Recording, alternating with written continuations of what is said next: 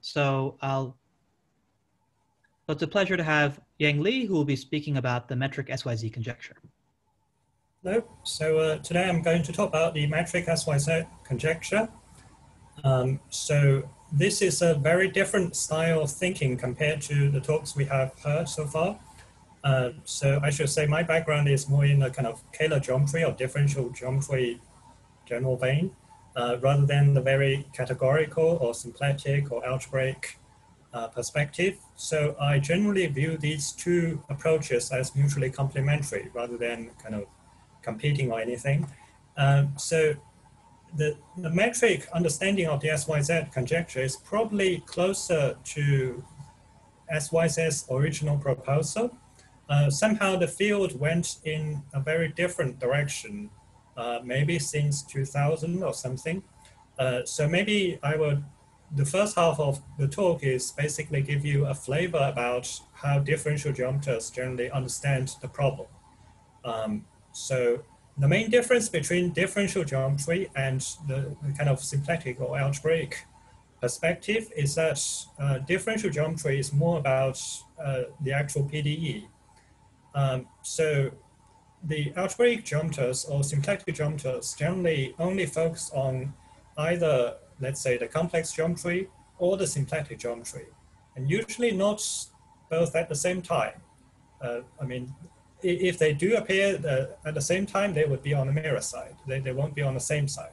So trying to describe, uh, so as a kind of general philosophy, trying to describe a um, complex manifold uh, really amounts to a finite amount of data because typically speaking, the deformation of complex manifolds, um, kind of projective varieties, amounts to basically deforming the coefficients of the defining polynomials. And that's a finite amount of information. So it's the same with symplectic geometry, uh, for which the kind of, to describe a symplectic manifold amounts to a finite number of parameters. Let's say, for example, it's essentially the um, second cohomology class, the symplectic form lysine. However, to describe the actual metric requires an infinite amount of data, uh, and it involves solutions to PDEs, which is a very different way of looking at uh, the problem compared to the other approaches. So for differential geometry, the SYZ conjecture has several possible meanings, but today I'm going to focus on a weak formulation of it, uh, which is to prove that for a suitable class of Calabi-Yau manifolds, near the so-called large complex structure limit, uh, that a special Lagrangian torus fibration of half of the real dimensions exists in the generic region so I hope everybody knows what Calabi-Yau means. Um, this includes um, the data of uh, a holomorphic uh, volume form, and which in particular specifies a complex structure, uh, and it involves a symplectic form. Uh, and these two are meant to be compatible in the sense that this, these give a, a Kähler metric and the Calabi-Yau condition is saying that um, the volume form defined from this Kähler metric agrees up to scale, which you can normalize to, to be one or something, uh, with a canonical volume form defined by your holomorphic volume form. So if you're given a holomorphic volume form, then you can uh, canonically construct a volume form by basically taking, taking uh, this omega wedge, omega bar. Um, so this means there is a canonical measure on this manifold. Uh, and Yau's famous theorem tells you that there exists a unique uh, metric, so-called Calabi-Yau metric, uh, within this given cohomology class. So for differential geometers, the kind of holy grail in this particular area is to understand the behavior of the Calabi-Yau metric. So you might say, we already know from Yau's theorem that this metric exists, so, so what else is left to do? So the typical question is to say, well, we know uh, from Yau's theorem that this metric depends on two pieces of data, this cohomology class specifying the Kähler class, uh, and the complex structure. So both are a finite amount of information. But to actually describe the metric is an infinite amount of information. So what you need to do is to sort of understand how the metric actually depends on the parameter. So somehow the dependence is really what we are trying to focus on. Uh, and typically, the question is really formulated in terms of certain limits, which is to say, uh, you can imagine you vary these uh, parameters like uh, either the symplectic form or the complex structure in such a way that you, you push this in, in a certain extreme and you look at what the metric is doing under that limit. So there are lots of um, kind of quite non-algebraic uh, phenomena you could uh, see with um, this kind of degenerations. So for instance, for instance, the simplest kind of behavior you could see is, uh, for example, you take an elliptic curve. Uh, so imagine the elliptic curve becomes nodal. So in this kind of um, picture, uh, the easiest picture you can think in your mind is that an elliptic curve is described in terms of its fundamental domain by some parallelogram, or in the simplest case, a rectangle. Uh, so one easy thing you could do is to simply stretch the rectangle in, in a way that maybe fix the length or and, and then stretch the width. Um, so you can see that in a limit, um, somehow if you, uh, let's say, suppose you renormalize everything so that the area is fixed, then what you see is that this kind of complex manifolds can become a real manifold or something like a line in a limit. So which means um, thinking about metric limits might actually ask you to go beyond the algebraic world. Uh, so this is only the tip of an iceberg. So according to the SYZ conjecture, um, it, so for differential geometers, it's really about trying to understand how the metric becomes um, under a particular kind of limit called large complex structure limit, uh, which I'm going to explain later. So the SYZ is physically motivated and it has many possible interpretations. Um, so I guess you are already familiar with many other interpretations like homological mirror symmetry, etc. Um, so in terms of this differential geometric picture, the strong version of the SYZ conjecture is to say that the special Lagrangian fibration exists globally. Um, so this is in contrast to the weak SYZ conjecture I'm proposing to talk about today, uh, which only asks you about the existence question in the generic region. And what do I mean by generic? So I just told you that there is a canonical measure uh, on this manifold, which you can of course normalize to total volume one, uh, and you can regard this as a probability measure. And then uh, you could ask, basically, instead of having this special Lagrangian fibration globally, you can ask um, for some kind of Lagrangian to uh, torus fibration um, on a set with basically 99.99% of the manifold. So this actually changes the nature of the question quite drastically uh, because the strong version um, basically has to deal with the most singular, uh, singular regions of the manifold as well as the smooth regions. Um, the generic version somehow is only talking about the smooth regions. So somehow the nature of these two questions uh, are quite different. Uh, uh, Yang, there's a question from Umut. Uh, please speak out.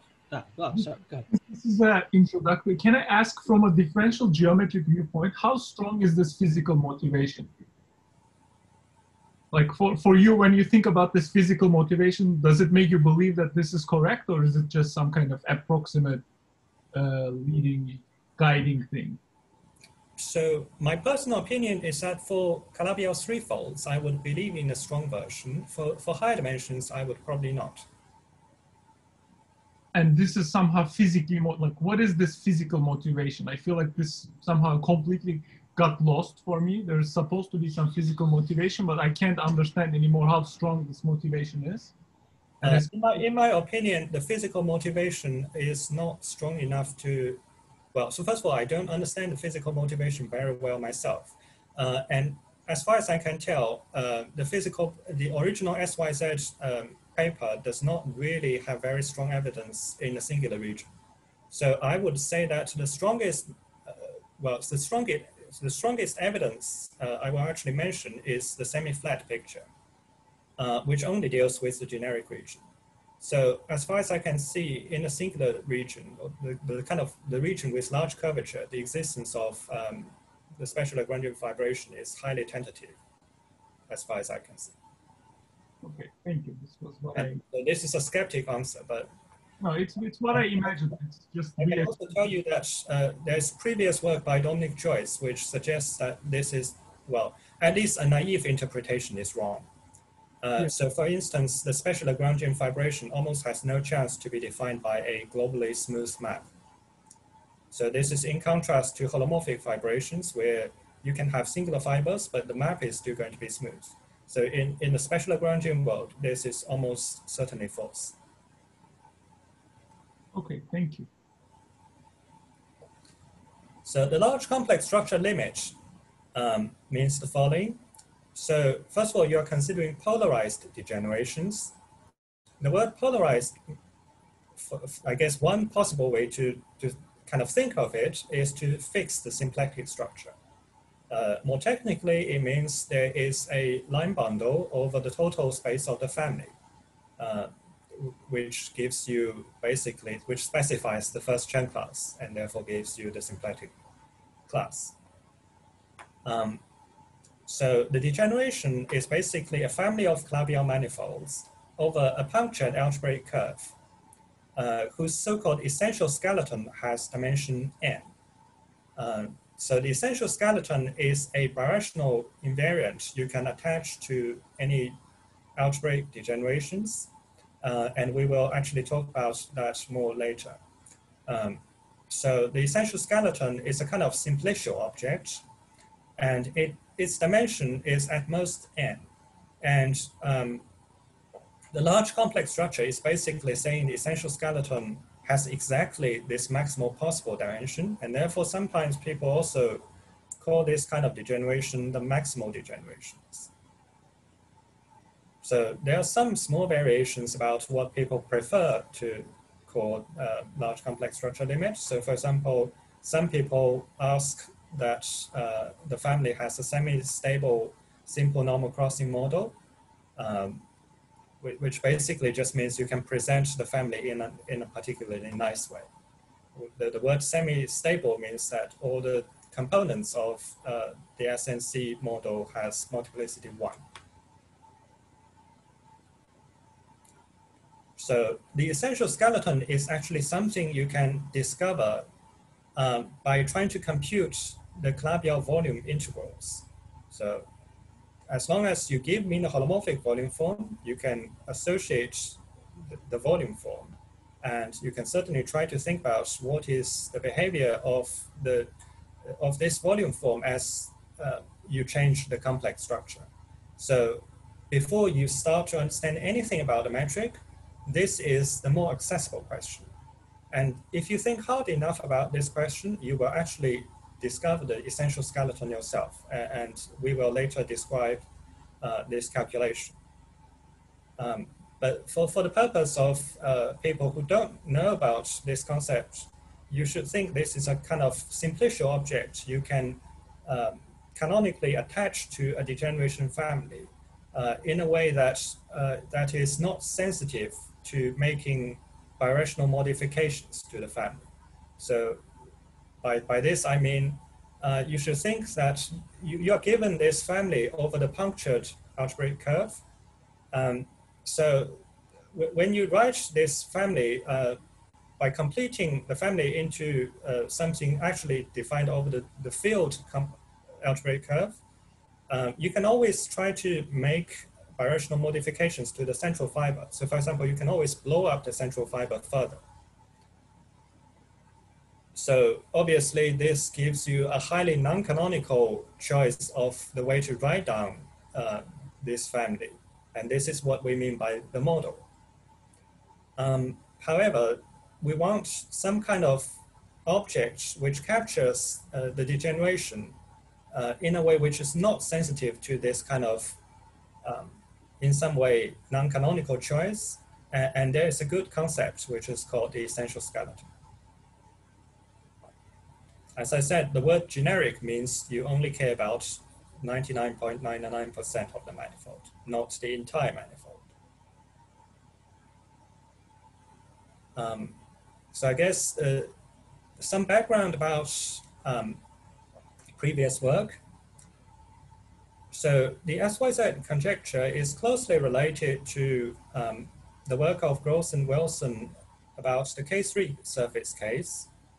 So this is a situation which has been uh, almost completely described, um, which involves a K3 surface with an elliptic fibration, by which I mean uh, a holomorphic fibration where the fibers are uh, elliptic curves.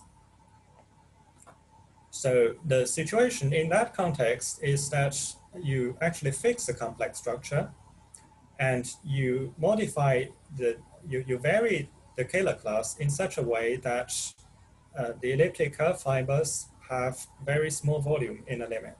So you basically try to collapse down the manifold to the base of the fibration. So this situation is uh, morally very similar to uh, the SYZ situation we are talking about, uh, but it's a slightly different situation, but it's still a very good guideline. Uh, some, some, some other previous uh, work coming from a different direction is the work of uh, Sebastian Boucksom and his collaborators about the so-called non-Archimedean geometry. Um, so for the first half of the elementary talk, we won't actually go much into the details. Um, but let me just tell you what, what's the flavor of the subject. So the non-Archimedean pluripotential theory has very strong analogy with Kähler geometry. So in particular, there is a notion of plurisubharmonic functions, uh, which is basically a kind of a version of Kähler metrics. Uh, and you can associate Monge-Ampère measures, which is basically the Calabi-Yau volume, the, basically the volume measure you can associate to Kähler metrics. Uh, and there's a version of Yau's theorem in that context. Um, so without necessarily going into the technical foundations, uh, let me just tell you that uh, this package uh, is built on very different foundations, but it has very similar properties compared to typical Kähler geometry. Um, so in particular, um, this non-Archimedean version of the Calabi-Yau theorem is a priori speaking not even a PDE. So what I want to emphasize is that this whole package, uh, a priori speaking, does not involve differential geometric concepts, but it, it's behaving very much like differential geometric concepts. So the, let me just mention the main goal of this talk, which is to tell you about the main theorem. Uh, the theorem is to say um, this weak SYZ conjecture actually will follow from some other conjecture in this non-Archimedean geometry so what I want to emphasize with, without explaining all the details, uh, so at the moment, you just have to impressionistically think that um, the SYZ conjecture is all about the PDE, at least for differential geometers. So the concept of a Calabi-Yau metric or the concept of special Lagrangians, these are PD-related concepts. Um, However, the non-Archimedean side, a priori, is defined in terms of totally different foundations, like intersection theory, etc. Uh, it has very similar formal properties, but it's built on totally different machinery. Um, so without actually telling you what the non-Archimedean conjecture is, which I will go to the more formal talk, um, I just want to emphasize that this condition is purely algebraic. The difficulty of um, this theorem at the moment is that because the non-Archimedean approach is not sufficiently uh, well investigated, at the moment on concrete examples, it's quite hard to verify um, these conjectural statements. So let me maybe go to explain the easy bits of uh, the backgrounds. So to tell you some basic features of the complex geometry about large complex structure limit. So if you need to know one thing about large complex structure limit, I would say it's that the generic region, at least in a measure theoretic sense, is locally modeled on C star to the n. Well, so how do you arrive at such a conclusion? Um, so there's a natural problem I just mentioned you could think of before you think anything about the metric, which is you want to first understand the volume form. And this is much easier than understanding the metric because uh, the holomorphic volume form is what you can regard as a priori given data. The metric is something you get after solving some PDE. So if you just ask about the volume form, uh, it doesn't require you to solve any PDE, and therefore it's the easy part. So let's try to compute the Calabi-Yau volume form for, um, let's say, a large complex structure degeneration. So what you're given is a semi-stable simple normal crossing model, uh, which is basically a way of writing this degeneration family. So simple normal crossing means basically uh, the fibration map locally looks like this. Um, and in, in, in particular, um, when I say semi-stable, I mean the multiplicities of these divisors are exactly one. So instead of having maybe Zi to some power, I would just have power one, which is uh, another simplification. So you are given some holomorphic volume form on the total space, which can only vanish somewhere on the central fiber because you assume the other fibers are Calabi-Yau. So once you're given a holomorphic volume form on the total space, you can write the holomorphic volume forms on the fibers uh, by this simple formula, which is sometimes called the adjunction formula. So now you have this local description of the holomorphic fibration map giving you this family of Calabi-Yau manifolds. So this, this would be the local picture around uh, some point uh, on the central fiber where let's say k plus one divisors on the central fibers intersect. And this k is of course smaller equal to n because uh, well, you, your divisors are assumed to be transversely intersecting. Uh, and therefore, of course, n plus two divisors would not have any kind of intersection because the total space would have dimension n plus one. So these zi's are local defining functions of the components of the central fibers. So the, the central fiber would be basically a, a union of uh, transversely intersecting divisors of the total space. Then you can locally write everything in this very simple manner. Well, then what you can do is that you can compute what this omega t is explicitly. Uh, once you have some kind of expression for this holomorphic volume form on a total space. So you can write the holomorphic volume form in this manner with some kind of coefficients AI specifying basically the vanishing order of uh, the holomorphic volume form. So we are secretly taking a normalization that uh, the minimum of the AI um, among all the AIs you can see is zero. So this is just a, a, normalization convention, which you can do by kind of multiplying the holomorphic volume form by a global meromorphic function. You can always write everything in this form? Well, according to our formula expressing the fiber-wise Calabi-Yau holomorphic volume form in terms of the global volume form, once you get an expression of the global holomorphic volume form, you can compute the fiber-wise holomorphic volume form. And what you get is this expression. So here the, the log factors comes from the fact that uh, because we have the, the local holomorphic map is modeled on this, um, so when you do this computation, when you divide by dt, you will actually divide out by something like z1 onto zk. So this gives rise to these log factors instead of, um, so for, for those other factors which are not affected by um, this kind of local holomorphic fibration singularities, uh, these will not have the log factors. Now, once you get the holomorphic volume form, you can uh, compute the volume form, which is basically this up to a scale.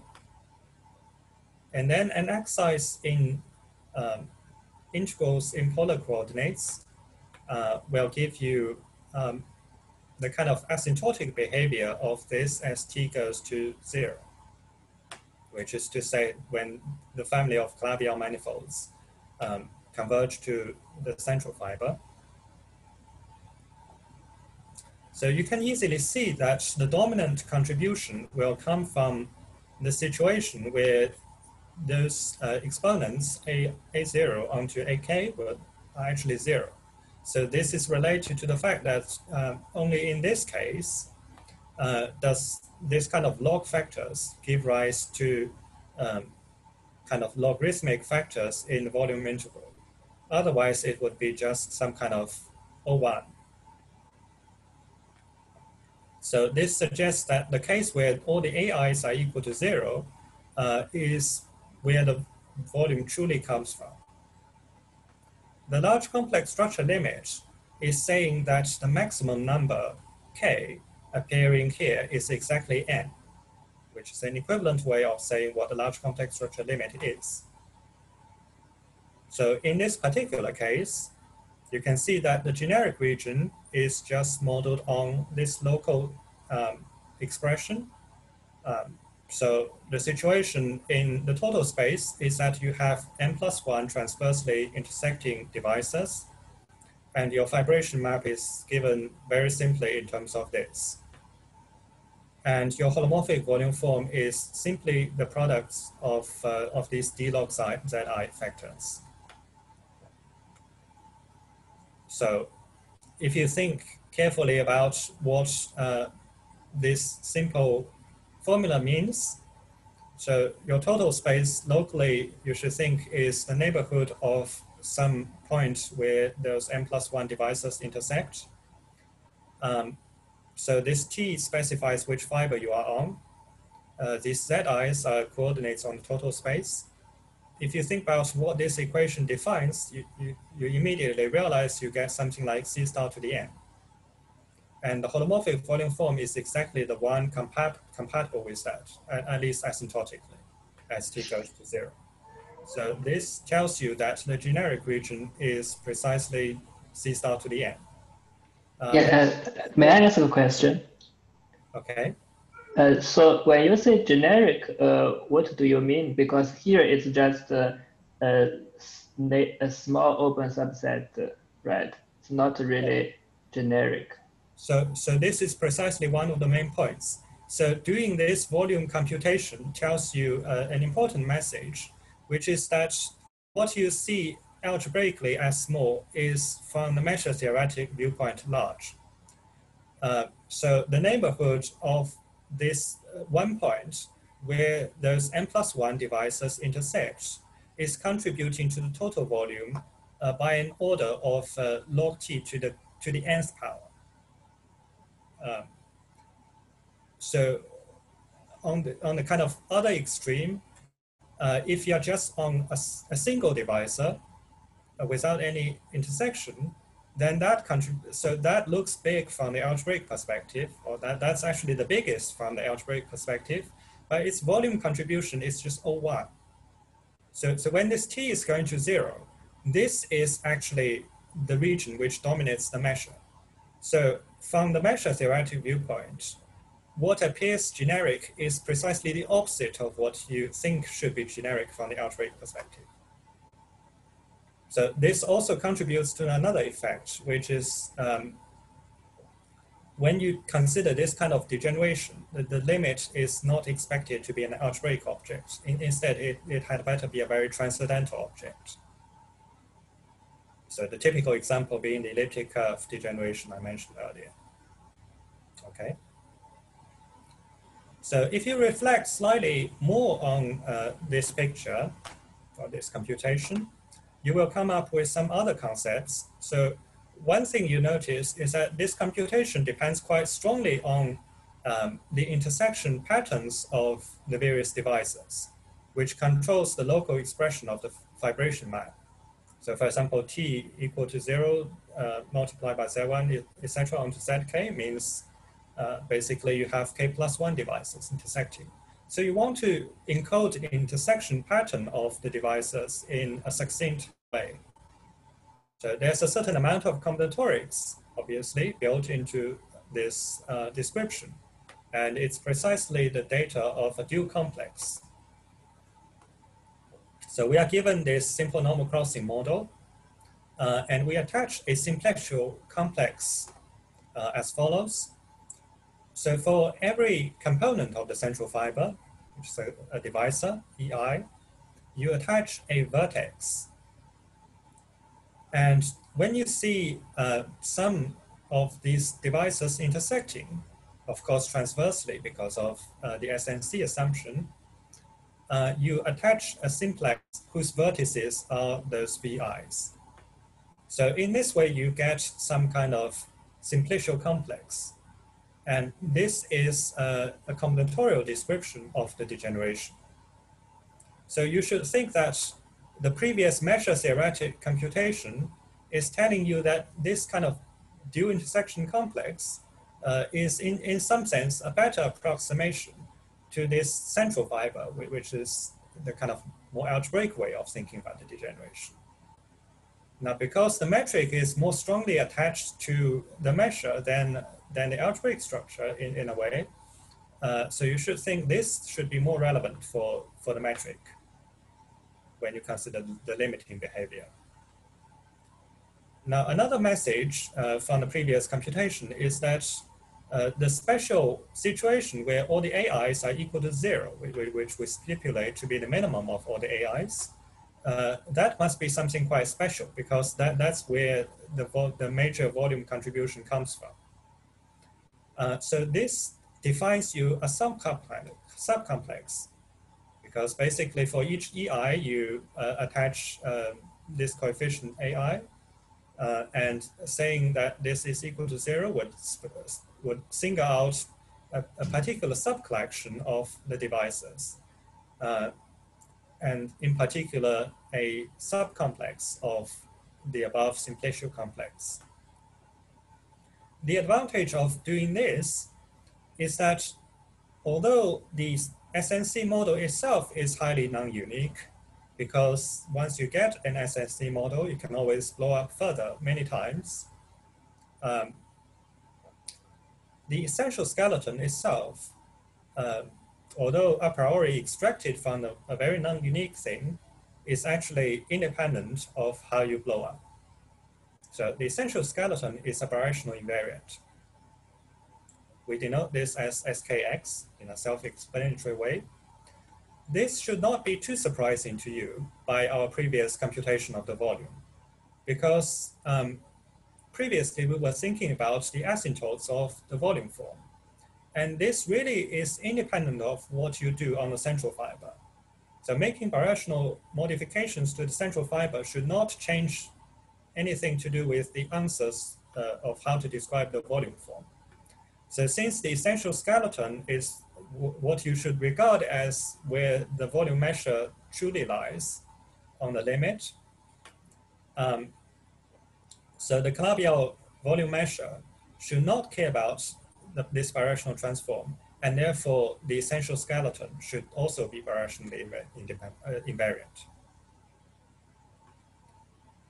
So maybe to get you into the mindset further, there is also a hybrid topology uh, in which you, um, you start from your original family, but you remove the central fiber and you replace the central fiber by uh, this dual complex.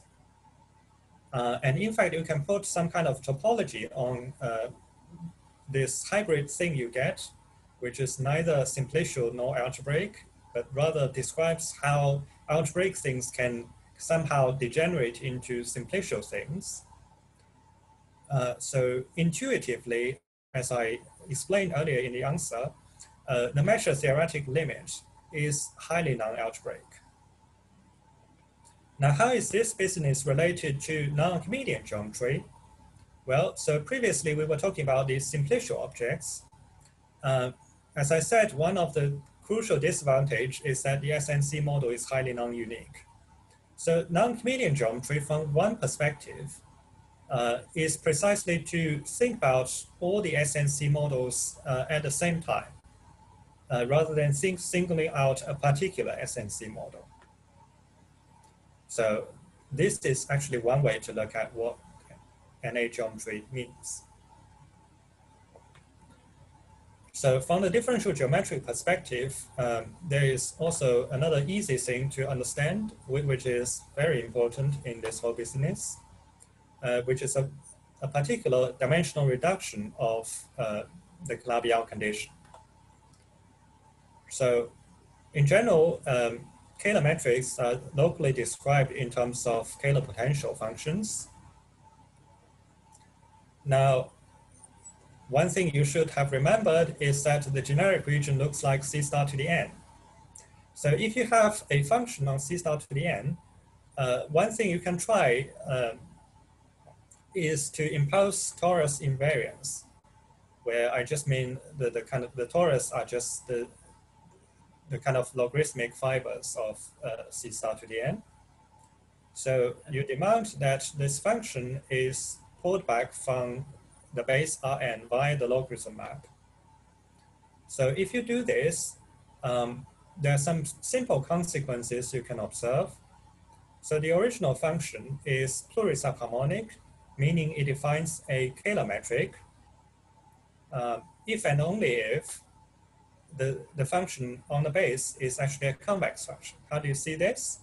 Well, so how, how do you check something is plurisubharmonic? What you do is you compute the I partial partial bar of this function, otherwise known as the complex Hessian. Uh, when you uh, compute the complex Hessian for functions pulled back from the base, what we will get is uh, basically the real Hessian of the function u. This is how you see this. Uh, and this function um, satisfies the complex Monge-Ampère equation meaning that the determinant, well, basically means the, the holomorphic, sorry, the means the volume form uh, of this metric uh, is equal to the, the volume form described in terms of the holomorphic volume form uh, given by the product of the d log zi's. Uh, so from a PDE perspective, it amounts to saying that in the logarithmic coordinates, the determinant of the complex Hessian is equal to one up to a constant. Um, so that you can see is equivalent to saying that the function on the base is uh, satisfying the real Monge-Ampère equation, which means the determinant of the real Hessian is equal to one. And as I said, the complex Hessian of phi is basically the same data as the real Hessian of u. So this should come as no surprise. So metrics. Yang, sorry to interrupt. Uh, we're, we're, I just want to let you know we're about 40 minutes into the talk. We're, we're flexible in terms of when you want to take the break, but I just wanted to let you know uh, in case you want to take the break soonish. It's up to you. So just want to let you know. Okay, so so let me finish this sentence and, and then we can break, in fact. Um, so metrics coming from these dimensional reductions uh, is called semi-flat uh, because we are imposing torus symmetry. Uh, and in particular, on any torus fiber, uh, if you have torus symmetry, then this has to be a Euclidean metric. But the dimension, but this um, does not imply that uh, the metric is a product metric because you can still uh, have metrics varying from fiber to fiber. So the important feature of uh, this dimensional reduction is that if your metric is exactly of this shape, then uh, the fibers of the logarithm maps are precisely special Lagrangians. um, which means at least you have some kind of simple test ground for what, uh, what kind of situations you expect to, to find a special Lagrangian fibration on. Uh, so I guess this is the kind of differential geometric background. Okay, I guess we can take the break. So the Okay, second thanks half very much for the. Uh, going to be slightly more PDE folks. A- any questions? Can I ask a question? Yeah. Um, so I I have a couple of questions actually. So uh, if I understood correctly, you're saying that there is a map from uh, from a large part of some kind of generic fiber to the essential skeleton, such that the fibers are special Lagrangian. Uh, is that the state under this uh, hypo, uh, hypothesis? Uh, that's essentially correct, yes. Okay, then, um, so if you now take this t, uh, this parameter uh, t to the large, uh, large complex structure limit, are these uh, maps in any way compatible? Meaning, Uh, uh, sorry, like, is so- it of like, say, I have a fiber for a given t, then I have a, another t which is closer to the large complex limit. Uh, then, then they live on different manifolds, right? There are different manifolds, but as symplectic manifolds, they're the same. It's just that the complex structure is changing. But, but, but you don't have a canonical way to identify these two. Ah, so that's what I'm asking. Is there, does there exist a way to identify them so that, so that these things are compatible? Is there any kind of, uh, Why, why isn't there a canonical way? There is a polarization on the yeah, there's like Darboux, well, But there's a polar, you can just use symplectic parallel transport. Ah. yeah, but may, um, but that might not be the way to identify. The Yeah, question is, I don't know there is a canonical way. Well, I suppose one thing you could probably think is every Lagrangian probably specifies a class in the maybe derived category or something. I guess you know this more than I do. probably- Uh, so I suppose probably yes, because you, you, you do expect that maybe sta- so-called stable classes have unique representatives. Ah, is there, So uh-huh. there, there are some results of this kind. So I suppose it must be possible. Okay, and finally, just one more question. Like in this literature on S, uh, like people assume uh, there's like this expectation that if, I mean, if you have this map, then it maps to a base, and there's an integral affine structure, and there's supposed to be like the sing, there's supposed to be some kind of singular region which is codimension two. Is there any kind of like this small part, which where where where the Lagrangian transformation is not defined? Uh, is there is there any kind of like other than saying that it's like it has small measure is there some kind of uh, way a way of seeing that it somehow maps to some codimension two region in the essential skeleton uh, Um, so I think the codimension two statement is stronger than, uh, I mean, it's, okay, the, codimension two statement is believed to be true in a limiting sense, but yeah I- so i'm asking not not code like the, is it like is there a thickening of the codimension like is is it, is there some kind of thickening so that as t goes to uh, zero i guess this becomes smaller and smaller Right. So um, this is believed to be true, uh, but uh, it's it's currently beyond the, the current results. I would say.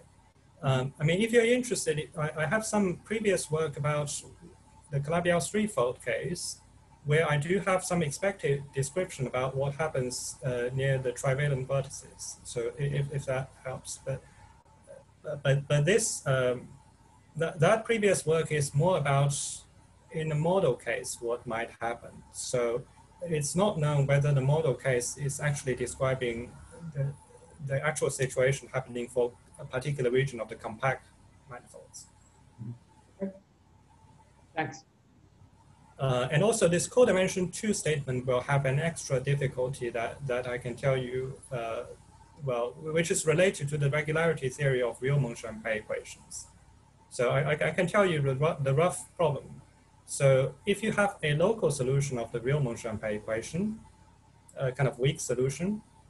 Uh, by, by local solution, I mean uh, on the kind of standard unit ball uh, in Rn, let's say, uh, then um, in general, you can only say that the singular set has, uh, let's say, Hausdorff codimension, uh, so Hausdorff m minus one dimension zero, uh, uh, Hausdorff m minus one measure zero. So there exists examples where the codimension of the singular set could be m minus one minus epsilon. So uh, that means unless you have a global reason, by, by local machinery alone, you can't actually conclude uh, the, this codimension two statement. Thanks. Very interesting. Uh, that transitions nicely into another qu- uh, question from Catherine. Catherine, go ahead.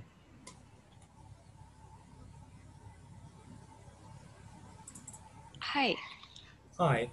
thanks for the, the great talk. Um, I just had a question at the last slide that you just showed us. Um, is the real Monge-Ampere equation any easier to solve than the complex one? Uh, well, depending on what you mean by easy. So, uh, well, so, well, so first of all, it, it deals with convex functions, and convex functions have better regularity than PSH functions. This is certain, right? Uh, and also, the real Monge-Ampere equation have better understood regularity properties. Uh, so in terms of difficulty, I would say that there's probably one more difficulty to do with the real Monge-Ampere, which is in this case, you really want to solve it on the essential skeleton. And, and the essential skeleton itself uh, is only a polyhedral set, which means the affine structure is not defined globally. So making sense of the real Monge-Ampere equation globally is actually quite challenging. Uh, but, but the local theory of Monge, real Monge-Ampere is definitely much, much easier than, than the complex Monge-Ampere. Thanks very much. Uh, In fact, the, the regularity of the real Monge-Ampere is going to appear some, somewhere later.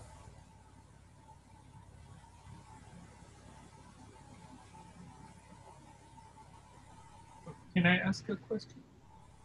Okay. Yeah, so so you said that uh, this uh, kind of uh, computation with the kind of uh, volume forms and kind of this measure theoretic computation, it's somehow you said that that singles out the essential skeleton uh, inside the dual intersection complex. Yes. I, I don't really understand this. I understand the statement that so the dual intersection complex, I mean, the bulk of the dual intersection complex is anyways defined by the maximal intersections of these divisors. Right? For each divisor, you have a point, and for each uh, codimension one intersection of divisors, you have an edge, right? And the bulk of the, the n-dimensional part, maximal dimensional part of the dual intersection complex is coming from the maximal intersections of the divisors anyways. Am I wrong about this? Right. So, so I guess uh, the, the key thing to understand is uh, is where this AI equal to zero comes from, right? Uh, so can you see maybe this page? So I, I have this asymptotic formula for what omega t is. So that, that's the fiber-wise Calabi-Yau volume form, uh, sorry, holomorphic volume form. So, it, so just imagine doing the actual integration, which I'm sure you can do. Uh, so when, when when you do this kind of integration, so when the AIs are equal to zero, you, you will get this kind of logarithmic factors. Mhm. But if the AIs are positive, uh, but by the way, in our kind of, we, we have already normalized the AI to be at least zero. So if the AIs are positive, then instead of logarithmic, uh, you will have dzi over z, z, zi, but multiplied by zi to some positive power. That, that changes the behavior of the integral. Yeah, I mean, I understand. This is this is the this computation is also kind of used in Kontsevich Soibelman's papers. It's Yes. not a new computation, but what I'm asking is how this computation singles out the essential skeleton inside the dual intersection complex. Because if I'm not understanding it wrong, the essential skeleton essential skeleton inside the dual intersection complex is not some kind of n-dimensional part of the dual intersection complex, right? It's like it has some flaps, maybe, etc. It's not like, you know, there is I just, I just thought, I, can you explain that part a little bit more? Well, so first of all, uh, those divisors corresponding to AI equal to zero, you, you know what these vertices are. And, you just look for those simplices with, with those vertices uh, along this collection. I, I think that, that that's not very difficult. Does that make sense? So, I mean, you, you include a simplex precisely when those vertices appear uh, in the AI equal to zero collection. Yeah, I, I, I understand that, but why, from, like, for example, in the K3 case, what you have is some kind of uh, tetrahedron, for example, as the essential skeleton, right? But if you blow up enough, what you have an extra in some kind of particular uh, semi-stable uh, SNC uh, compactification is also some flaps attached to the edges of this. So, so the, the, the point, I guess, is that if you blow up further, you, you, you will not get, uh, well, I mean, the, the, there, there are really kind of two kinds of situations. So, so if you blow up somehow in the interior of some divisor, for example, then then you will automatically get AI. So there, are only two things which can occur. One, one is to subdivide the essential skeleton. Uh, the other is to, to have some kind of extra wings, uh, mm-hmm. and those extra wings will never lie on the essential skeleton. Yeah, I understand, but how does your argument suggest this? Because that's the only meaning that I can get from the like somehow you your intuition is supposed to tell me why those flaps don't appear in the essential skeleton those wings but to me those wings also come from uh, maximal intersections of divisors because they're kind of maximal dimensional okay maybe the question is not clear i guess all i want to say is that you, you would be naturally motivated to define the essential skeleton based on this computation. I guess this is all I want to say. I mean, uh, to, Umut, isn't I, the point? So, if you have, if you do some of these extra blobs, so you get some some divisor that's not uh, shouldn't count as the essential skeleton. It means that the holomorphic form has some extra zeros along that divisor, which would mean that one of the AIs is bigger than zero. But and then that, that piece wouldn't contribute as much to the volume. I, I think that's the calculation, if I recall. But doesn't that divisor uh, kind of intersect with other divisors, like n other divisors? And at that new intersection point, now I actually can take all the AIs to be zero in some different ZI coordinates. Uh, no, no, no. I mean, the, the holomorphic form is fixed. Uh, I mean, so, you know, you, once you do these extra blowups, the holomorphic form is going to have some zeros along the, um, along those blown up divisors. Uh-huh. And that's going to change those integrals because now there's some positive powers of the zi's appear.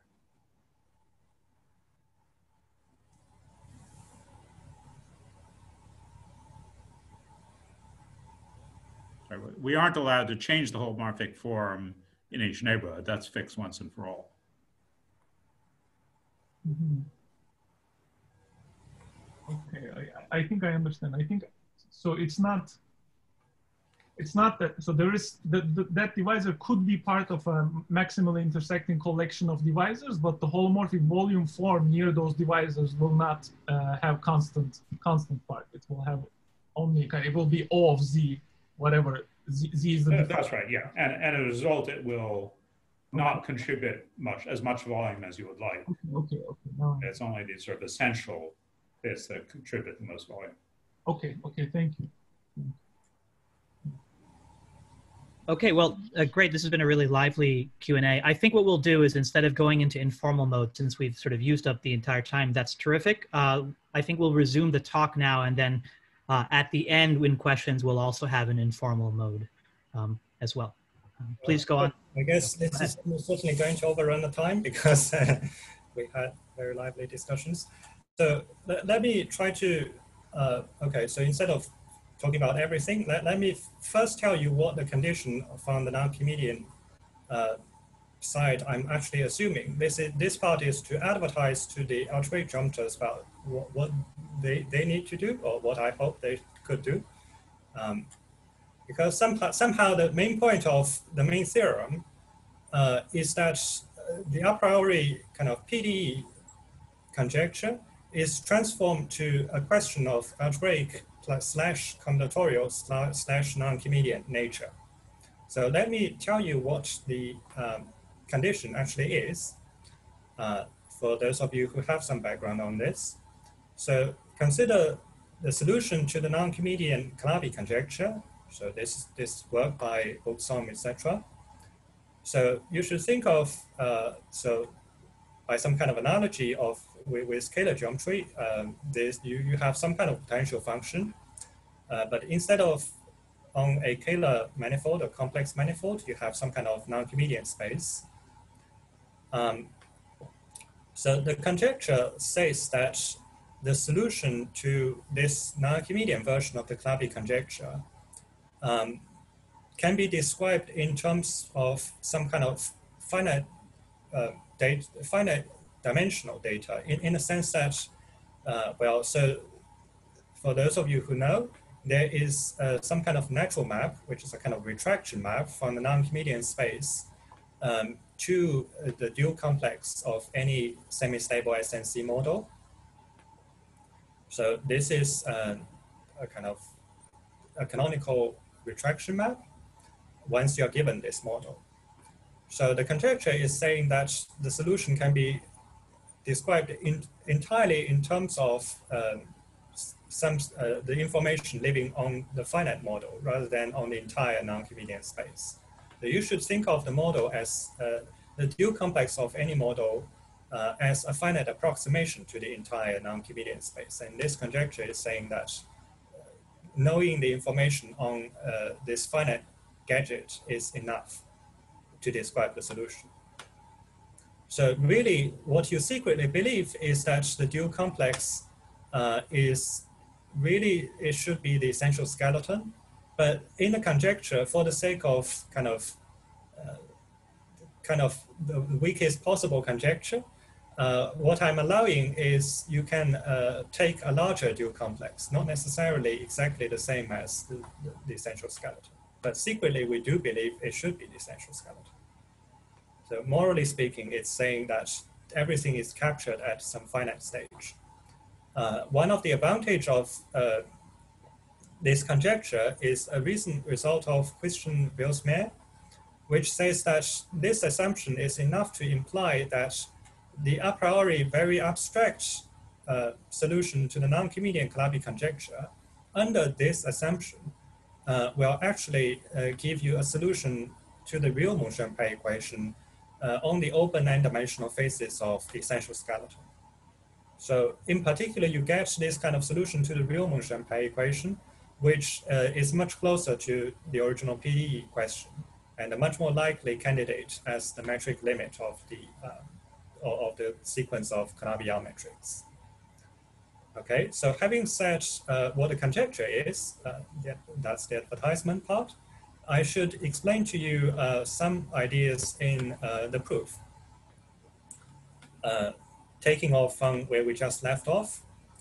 So I, I already told you this, there's a dimensional reduction called semi-flat metrics. So the first uh, major reduction I want to tell you is that instead of uh, thinking about the conjecture as being about special Lagrangians, um, as long as you only work in the generic region, uh, I claim the essential statement to prove is really only about the metric. In the sense that uh, our real goal is to prove that the Calabi-Yau metrics on those degenerating manifolds um, asymptotically behave like this.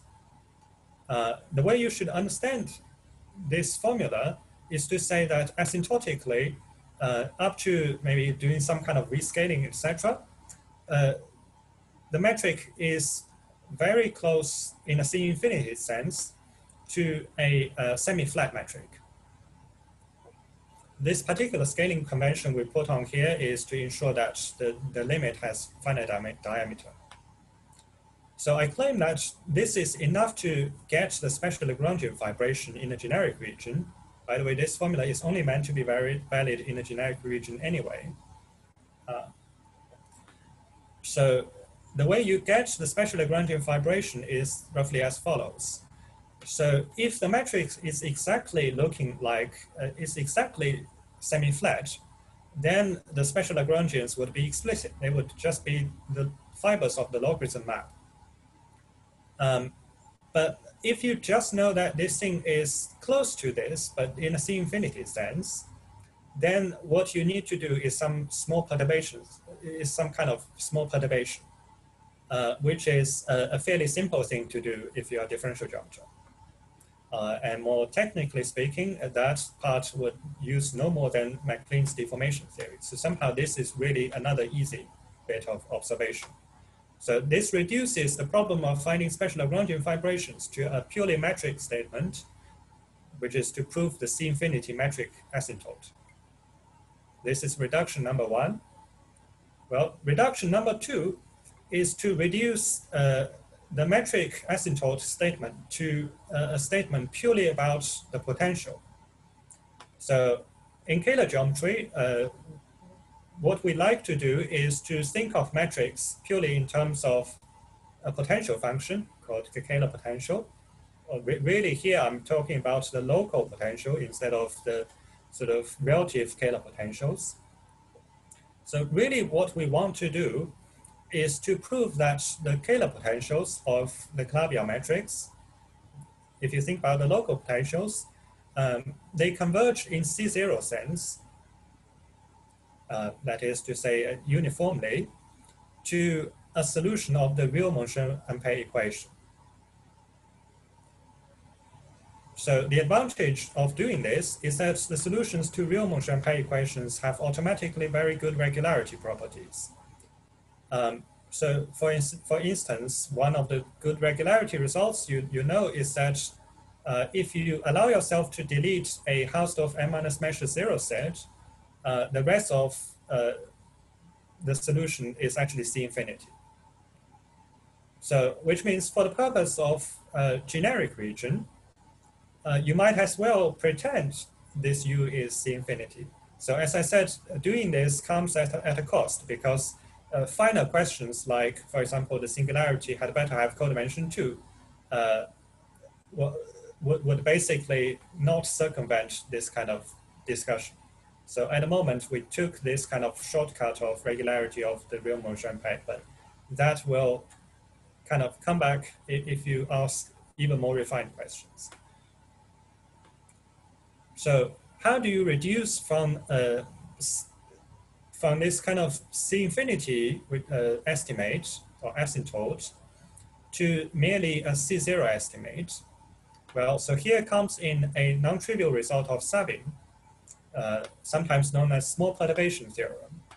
So which works for a very large class of fully nonlinear second order elliptic PDEs, in particular uh, the complex Monge-Ampère equation. Uh, and it says that if you know some solution is already smooth, which is, in our case, is the solution to the real Monge-Ampère equation.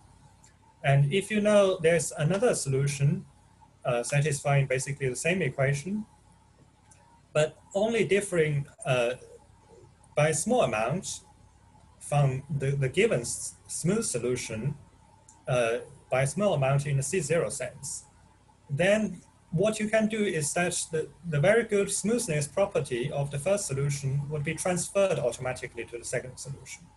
So you should view this Savin as a kind of transference of regularity. So if you if you have some smooth solution and, and you know some kind of C0 approximation, you, you would be able to conclude C infinity approximation. So this is the main non-trivial theorem which reduces the proof to uh, an estimate about the potential. So um, in our case, uh, we apply this Savin to local universal covers of annuli regions in C star to the n. Um, and that, that is the part which kind of accomplishes the second major reduction, which is to reduce an C infinity asymptote or kind of C infinity deviation estimate to a C0 estimate at the level of the potential.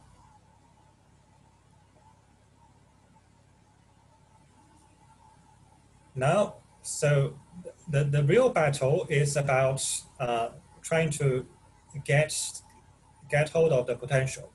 The difficulty, obviously, is that the, the manifolds, the underlying manifolds are highly degenerate uh, in, in this kind of limit.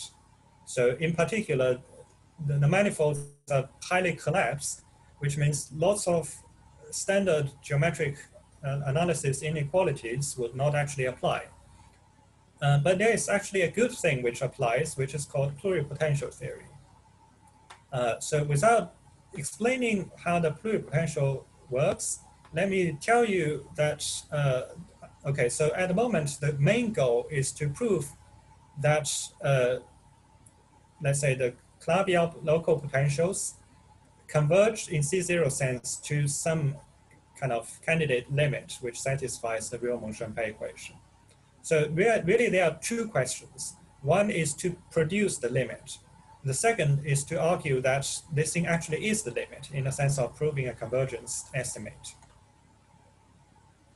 Now, the way non-Archimedean geometry comes in is, as I mentioned earlier, uh, under this kind of additional hypothesis of kind of finite uh, stage information captures the full information of the non-Archimedean Calabi-Yau solution.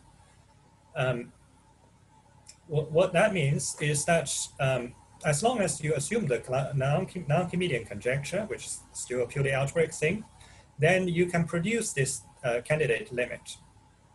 And, and then somehow the main point is to com uh, compare the candidate limit with the actual uh, potentials on uh, those degenerating manifolds and argue they, they, they are actually kind of close to each other in the C0 sense. Well, how, how do you estimate potentials? Um, so the standard thing to do um, to achieve, uh, well, let's say, there's a general package called pluripotential theory, and its main goal is to estimate potentials. So if you want to achieve upper bounds of a, of a uh, PSH function, uh, the standard thing you do is mean value theorem. If you want to achieve lower bounds, there is a method of Kolodziej uh, which, which would give you something of that kind if you have integral bounds on the volume density.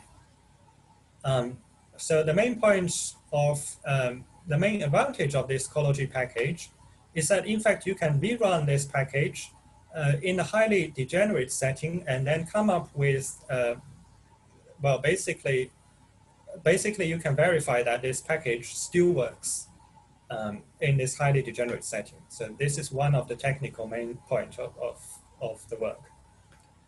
Um, and instead of estimating just one potential, you can, uh, another thing you can do is to compare two potentials. So if you know two potentials, have um, roughly the same volume densities, you can also conclude that these two potentials uh, are kind of close together in the, the, kind of uniform sense. So somehow the main goal of, um, of the potential estimate is to prove that the candidate limit is close to the actual Calabi-Yau potential. And what the package allows you to do is to ensure that as long as you have uh, two globally defined potentials, and as long as you can verify that their volume densities differ by only a very small amount, then you are able to finish off. Uh, provided you check that all the techniques work in the degenerate setting. Um, so I should emphasize that making the two potentials globally defined is actually quite non-trivial. So even if you want, you just want to make the comparison in a generic region, um, you need to work quite hard to, to make sure that uh, the two potentials are globally defined in order for that package to, to work. So regardless of how we actually produce the potentials, as I hinted, we will actually produce this from non-Archimedean geometry. Um, the really significant features would be essentially two features. One is that the potential should solve the real Monge-Ampère um, equation. So that would guarantee that it has roughly the, the correct volume density. Uh, the second is a kind of approximation property, which is to say, well, you have uh, some limiting potential, which you believe to live on, for example, the essential skeleton, or in our weaker assumption, you believe that to live on some finite dual complex. Um, but in order to make sense of that solution um, on xt instead of the limit, so re realize that xt and uh, the essential skeleton are, are quite different manifolds. So one thing you need to ensure is that um, you need to be able to transfer this candidate limit coming from non-Archimedean geometry um, to the actual Calabi-Yau manifolds near the degeneration. So you need uh, to find some kind of global Kähler potential on the degenerating Calabi-Yau manifold, which is C0 close to um, this um, non-Archimedean solution on the generic region of xt. Um, and here, one of the crucial thing you need to ensure is that when you graft the solution from this kind of non-Archimedean space to xt, you should be careful to keep track of the Kähler property. Uh, so this is in fact one of the other advantages of uh, non-Archimedean geometry, which is uh, the notion of Kählerness, if you like, or positivity, as more kind of differential geometry people like to call it, um, is quite nicely encoded into the non-Archimedean machinery. So really, if you're wondering secretly, why, why do we bother with non-Archimedean at all? Then I would say there are really kind of two desiderata uh, we want from the non-Archimedean side. One is we want to we want to produce some solution to the, the kind of real Monge-Ampère equation on, uh, let's say, the essential skeleton. And the second is that uh, there should be um, a good way of encoding uh, the Kähler property so that you are able to graft this solution to the actual Calabi-Yau manifolds on which you want to consider uh, the, the, the, potential. And crucially, you need to preserve this Kähler property. And once you have the two properties, um, you can, in fact, uh, by, by some small extra work, you, you can demand some uh, further property, which is to say the volume density of, uh, of this kind of grafted solution, if, if you like, is close to being Calabi-Yau, at least in some L1 sense, which means that it's, it roughly has the correct volume density. So as you can see, the real Monge-Ampère equation is essentially telling you that the density is correct. So, so this is not quite an independent property. It's essentially a consequence of the first two.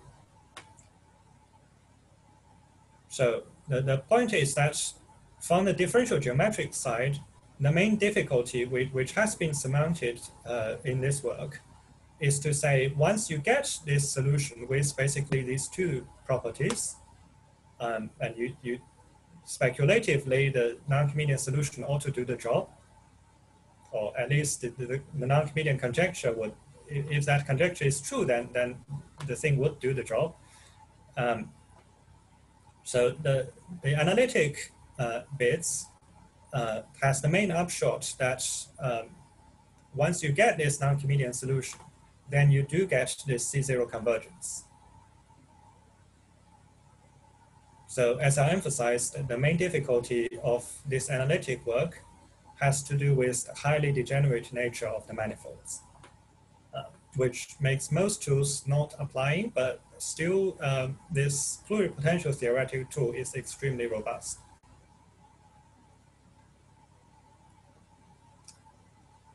So um, let's see.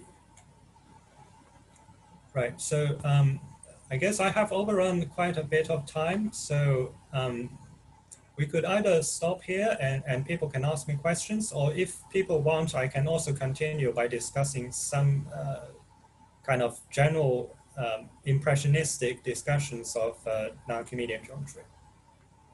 What, what, what would you like? Um, if, if you have some general impressionistic things you could say in a few minutes, we could do that and then still have some time for questions. Um, uh, it's, up, it's up to you. Okay, so as I said, the non-Archimedean jump. So I have already discussed you discussed to you why I think uh, non-Archimedean geometry might be relevant. So, okay, let, let me just give you a, a very broad brush sketch of what this thing is all about. So non-Archimedean geometry, from one perspective, uh, comes from the fact that if you just consider one SNC model, uh, you will in quite inevitably get into this kind of non-uniqueness question. So you can always blow up to, to get higher and higher models. So one, uh, one approach to deal with the problem is to consider essential skeleton. The other approach, which goes like the opposite extreme, is to consider instead all the models simultaneously at once. And basically, uh, you, you have a tower of models, um, and you simply take the inverse limit and that thing is called the non-Archimedean space or Berkovich space. So this is what it is. Um, so you should think of the dual complexes of models as giving you finite uh, stage approximations to this highly infinite um, kind of complicated thing.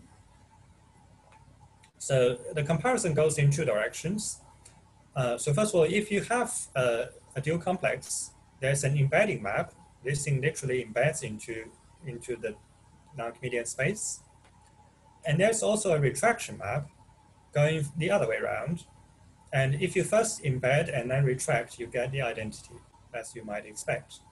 So this retraction map behaves a little bit like logarithm map. So you should think of dual complexes as just giving you finite approximations. And in fact, the conjecture is about kind of pushing this to the level of the solution to the non-Archimedean Calabi-Yau uh, solution. Um, so on this non-Archimedean space, uh, you can make sense of line bundles and sections. And there's a kind of GAGA principle, uh, which tells you that the notions you get is really the same as the usual geometric notions um, you get after you try to base change to formal disks. Um, there's also a notion for metrics on line bundles, uh, quite analogous to Hermitian metrics. Um, so for, for instance, in usual Kähler geometry, you might say that two Hermitian metrics on line bundles differ by uh, a Kähler potential. Uh, it's the same with non-Archimedean side. So quite crucially, as I hinted, uh, the non-Archimedean um, machinery captures the notion of uh, Kählerness or positivity in, in, a very effective fashion. So there, there are several ways to define what uh, positivity means. Uh, but I guess the most intuitive one is to say that uh, if you are given a continuous uh, semi-positive metric um, on some non-Archimedean version of the line bundle, um, so it, it is uh, semi-positive if and only if it arises as a C0 limit uh, of the non-Archimedean version of Fubini-Study metrics. So basically, the, in, in Kähler geometry, it's quite well known that um, Kähler metrics can be thought of as uh, limits of Fubini-Study metrics. Um, so non-Archimedean version is, is very similar from that perspective. There's also a hybrid topology which allows you to say that um, the complex manifolds converge to this non-Archimedean space uh, as t goes to zero. So you should think of this as a kind of high-level uh, version of um, the previous finite stage hybrid topology I was talking about, uh, where instead of converging to this non-Archimedean space, you converge to just some kind of dual complex. So for the purpose of SYZ, uh, the fact that you can uh, preserve positivity is, uh, is a quite important feature. There is also a theory of non-Archimedean Monge-Ampère measures. Um, the definition is in terms of intersection theory, not quite differential operators. like what you see in complex manifolds.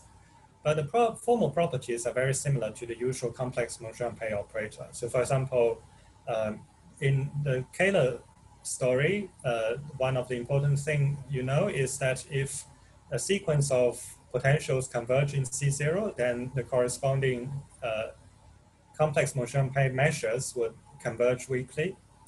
Uh, it's the same with non-Archimedean side. So there are lots of kind of formal similarities.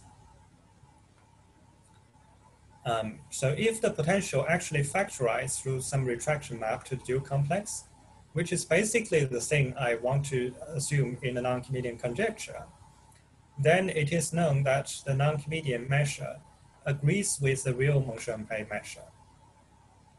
Um, so more, more precisely, I mean the non-Archimedean measure would, uh, would live on this non-Archimedean space and you push forward via the, the retraction map and that defines you some measure on, the, let's say, the, the dual complex and you can you can uh, check that this is the same as the real Monge-Ampère measure uh, defined by the corresponding function.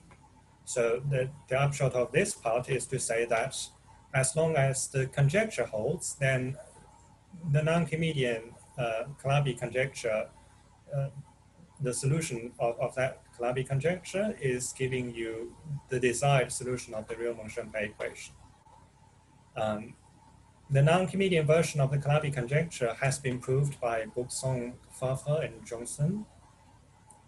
Uh, so you do have some solution, you just don't understand it well enough to, so, so, so the bit I have to assume is a conjecture. But I highly encourage you to, to try to make it a theorem.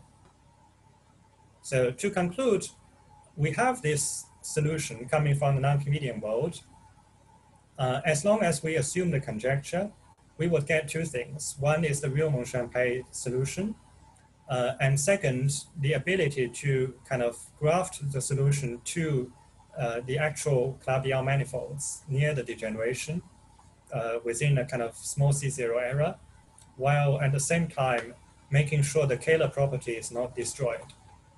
And as long as we have this, we have uh, the kind of C0 convergence of the potential to the desired limit. And from that, by Savin's result, we would have C infinity asymptote. And from that, uh, we have the special Lagrangian fibration.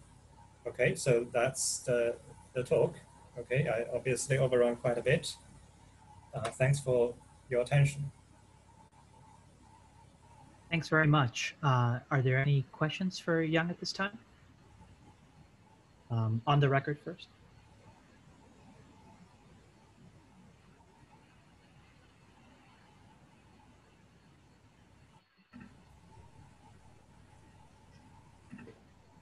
Maybe I can ask a question. Yeah. So there is a, a, a another weak version of uh, why do I hear my voice? Is yeah, so there's another weak version of uh, SYZ conjecture, like in the, I think in proposed in the paper of uh, Gross Wilson and also Kontsevich Soibelman, which says that uh, the in the large complex limit, it's just asymptotically a torus fibration. Doesn't really say that it is a toric torus fibration do you have? Well, so I mean, your yeah. You make your statement more precise because I feel that this would be exactly the same as I'm talking about. Yeah, my feeling is that it, it is the same. Essentially, the closer you get to the large complex structure limit, the more of the manifold should be covered by these good regions and then eventually maybe some set of measure zero is, is bad. Oh, this is what asymptotic uh, supposed to mean in that.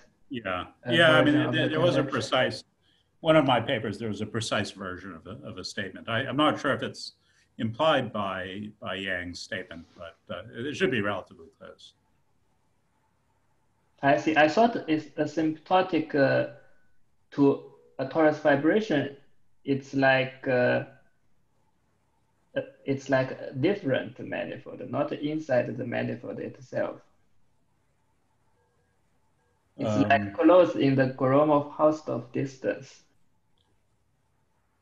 Well, but the the the conjectures we made on and Kontsevich and Soibelman made were that the um, you had Gromov-Hausdorff collapse. So if you sort of go to large complex structure limit, you get Yeah. Gromov-Hausdorff collapse to the um, uh, to to what should be the base of the SYZ fibration. Yes, that's first uh, statement. Right. And, you know, I think if, uh, yeah, and can correct me if, if I'm wrong, but I think that this would say at least you have this Gromov-Hausdorff collapse on a large piece of the manifold, but then there will be some small region you can't necessarily control. Yeah, so I guess the, the main thing opening at the moment, well, first of all, it's this non-Archimedean conjecture part. Uh, but suppose this part gets resolved, the, the main question would be the kind of asymptote of near, near the singularity and what kind of singularity actually arises. Uh, so I guess one of the main open questions at the moment is that people don't. So the, the non-Archimedean uh, solution at the moment has no known regularity theory beyond C0. So in particular, uh, it's not possible to detect where the singularity actually occurs uh, and what kind of singularity occurs. So we, we do believe that it's codimension two, um, uh, and maybe in ideal cases, it looks like a, a tree or a trivalent graph or something like that, uh, if for Calabi-Yau's threefolds. Uh, but um, proving something like this seems quite a long distance off.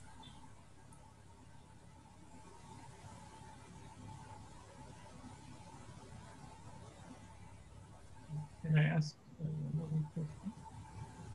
So you mentioned this uh, hybrid topology in like maybe two slides ago. Yeah. You can you said you can prove that yes, the, the third bullet point xt converges to xn is. I, I don't I mean I don't understand how what this means at all, but. But can you recover this Gromov-Hausdorff collapse at least from this statement? Is it a stronger version of that, or? Um, so, so what, what exactly is the statement you want to prove? So, so you do, do you want to prove? So first of all, this is only talking about the generic region, which means that. Um, okay, so It's not in the to, statement. to get the Gromov-Hausdorff limit, uh, some some of the technical thing you need to do involves also the, the, the non-generic region. So actually, in my paper, there are some kind of discussions on this. You can you can probably find. Uh, so, but are, you trying to ask me what the hybrid topology roughly means? No, but I, yes, that could be a question. But are you saying so? This is xt is the is not xt. Are you actually wanted to say this uh, generic portion of xt when you said this con- convergence? So the statement just says there's some some kind of topology on x xt, I think, which is hybrid, and then with that topology, it will converge to xn. What, what kind of topology? So roughly speaking, the way you should think about this is actually the, the topology, roughly speaking, is uh, so it, it's roughly the topology of thinking about C, C star to the n as a very thin and uh, and long uh, kind of cylinder-like thing, and uh, it converges to Rn via the logarithm map. So th- this is roughly speaking the topology, R- roughly. At, at least that's the What intuition. sense was it com- I mean, you're talking about something finer than Rn, right? You're, you're seeing the entire Berkovich space, supposedly. So I, I guess if you want to understand what this topology is doing, then, then the better thing to think of is the finite stage approximation. Uh, and in fact, if you assume the, the non-Archimedean conjecture, then, then these two would be equivalent. Uh, so, uh, right, so I, I guess in the, the finite stage approximation, you would have kind of local pieces of the kind of well, I mean, so first of all, you, you can write the, the manifold locally as something like C star to the K times maybe some other small factors. And, and then uh, that part would project down to some kind of uh, k-dimensional, uh, re real k-dimensional uh, kind of simplicial piece, uh, depending on which strata you are actually on. Um, but basically, it's it's essentially the same thing as the logarithm map.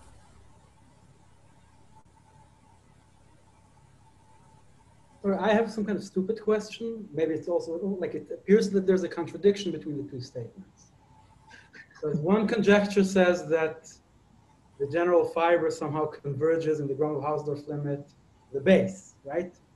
The other conjecture says it converges to xn, which is some complicated thing because it's the Berkovich space. Oh, uh, I, I, I, I, oh, um, no. So uh, let's say the, Okay, so the believed picture is that the metric limit. Uh, so okay, so there are two statements. So one is not a conjecture. So you you, you can you, you can put a topology on xn, uh, kind of disjoint union, uh, the, the union of all xt's.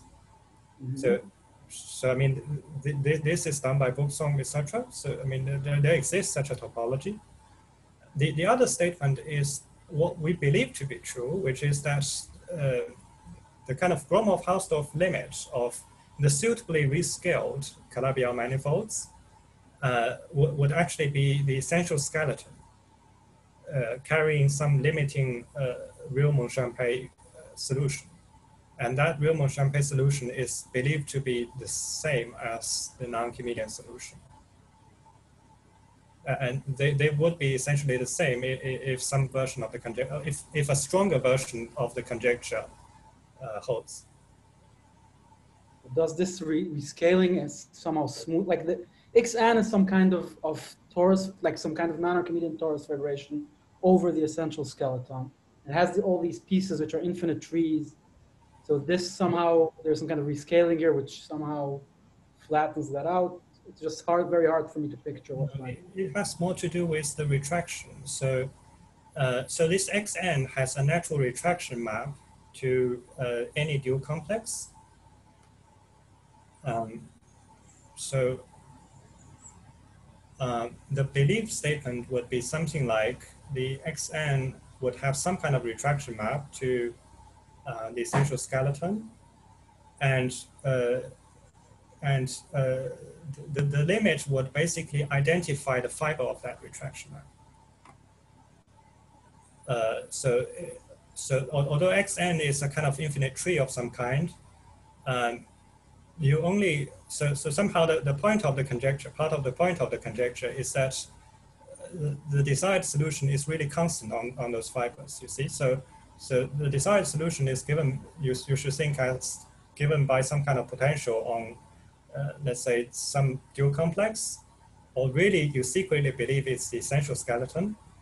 And, and the conjecture is, is saying that the potential is just pulled back from the dual complex, which means it's actually constant on the fibers, which also means that uh, if you think about this thing metrically, it means all the fibers are identified as just points. Does that make sense? So I'm still having a lot of trouble picturing this. But, uh, uh, so maybe so, maybe let me suggest that we. Um, so since we're sort of already into the informal discussion period, maybe let me suggest this would be a great topic for informal discussion with the speaker, um, if that's okay. I I was thinking maybe. Um, in case there's anyone else who want to ask uh, a last sort of official question, maybe just um, pause on this line, which is a very interesting discussion. Sort of, I certainly want to hear more details, but um, um, are there any sort of final official questions. Mark, did you have a question? I think you, um, I, I thought maybe you were about to ask something. Oh, no, no, no, I, I'm fine. I, I, okay. I, I, I'm about to go to bed. so I um, won't join the, the unofficial discussion. Okay. No problem. Um, well, I think maybe what we should do, um, so I've put a link in the chat. Again, it's the same gather.town link that we used at the previous break. Um, maybe why don't we um, stop the official um, portion of the talk now and continue in gather.town for those of you that can make it. Um, and we'll resume with official talks tomorrow with uh, Mark Gross. So thanks again to our speaker very much.